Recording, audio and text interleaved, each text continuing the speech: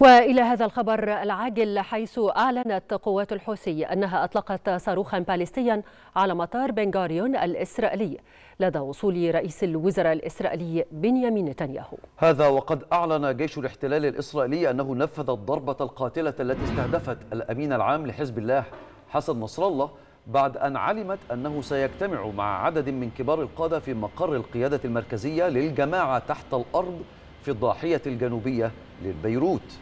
في الوقت ذاته أكدت نائبة الرئيس الأمريكي كاملا هاريس أكدت أن لديها التزام لا يتزعزع بأمن إسرائيل مؤكدة أنها ستدعم دوما حق إسرائيل في الدفاع عن نفسها. من جهتها دعت فرنسا إلى وقف فوري للغارات الجوية الإسرائيلية على لبنان وأكدت معارضتها لأي عملية برية إسرائيلية في لبنان.